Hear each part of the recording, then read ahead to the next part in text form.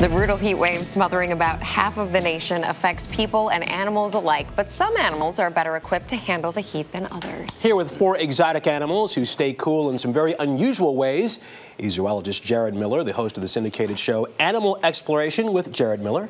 Jarod, thanks for coming in. Good morning Good morning, you. Russell. Good to Good see you. morning. Hey, Good Rebecca. to How are you? animals I'm for us. Let's begin with this guy We'll here. begin- He's and a you black-throated monitor lizard. It is, and this is a beautiful example. It's a predatory reptile. Um, you know, monitor lizards are great. I mean, they're again one of the most. Uh, you know, when it comes to animals beating the heat, there's Uh-huh. one common thread with all the animals we're going to meet, and it's thermoregulation. It's how they can control their own body heat. Reptiles like this monitor, cold-blooded animals, so you figure they need to be warm. Right. Monitor lizards are found mainly in Africa, Asia, and they need to be near the equator. The hotter, the better for these guys because, you know, their body temperature is dependent on the ambient temperature.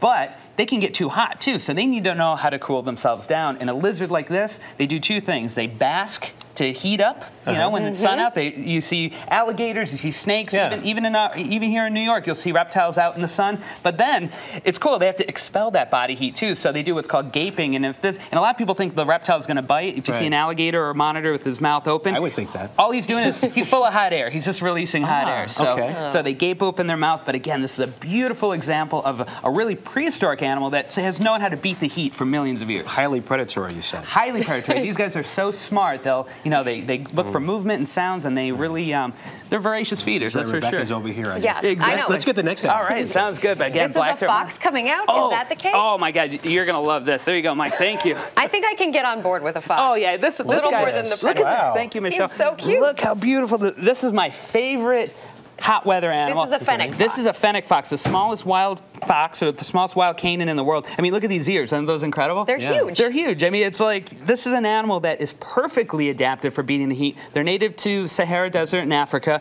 and this guy has so many adaptations to beat the heat. There's more than you can count. The ears are big; they act as radiators. So the bigger, like an elephant, the bigger your surface area, little capillaries through here help release the heat. So being a warm, you know, a warm-blooded, you know, furry animal, he, you know, he needs to beat the heat even more so than others. My favorite are his little uh, oven mitts. Look at on the bottom Oh, of his feet. Here, tuck- here, give him a high five, Rebecca. five. Yeah, Look at good. that. Yeah, Look hey. at High one. Cool. Hi we're one. good. Yeah, but good. look at this. This little fox has fur. I mean, imagine if we had fur on, the, on our hands Mm-hmm. and feet. I mean, it'd be bizarre. But this fox, they have built-in oven mitts. So he's running across the desert sand, 100 degrees. Yeah. He's perfectly protected. Excellent, And look at this color. Reflects the heat. You know, this guy will blend into the desert. Plus, they hunt at night. And this, you know what this guy eats? Hmm.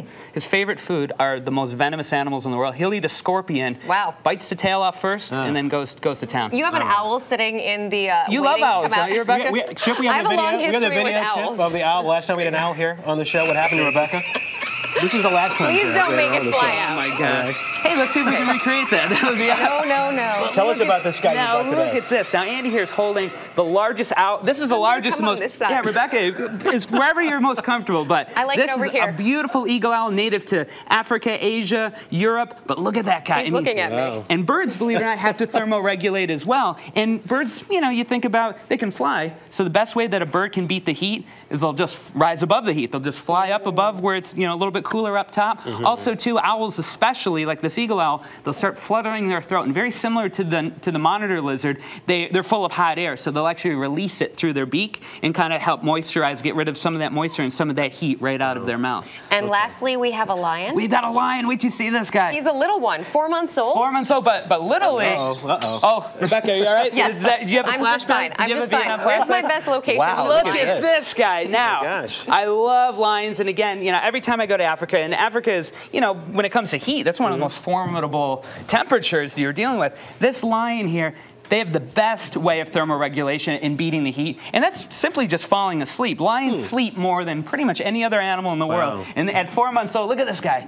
He's all full of like, he wants to play. He's actually at this age, he's even starting to learn how to hunt. So if we want to participate That's with good to him, know. help him in the training process. Is it okay to let him chew your hand like that? No, it's not okay. no. In fact, It's a lion, Rebecca. right it's ahead. like, you know, this isn't a puppy. But this little lion cub, again, you know, once he get, he, when he's full grown, he'll be 600 pounds, have a big, beautiful mane. And this guy Mm. will pretty much sleep 20 hours a day during the heat. He'll come up at nighttime, do a little hunting. Yeah. Actually, let the female lions, they live in the, they're very social, live in big prides. Let the females bring the food to him. What a life. I Such a know. deal. He's the king of the jungle, guys. All right. The all right. African lion. The African lion, isn't Mm. he beautiful? and though? the Jarod Miller. Yeah. Fantastic stuff. Thanks for sharing all, these right. animals with Sounds us good. today. Absolutely. You're It's welcome, A guys. safe segment. Exactly. We appreciate that. We love it.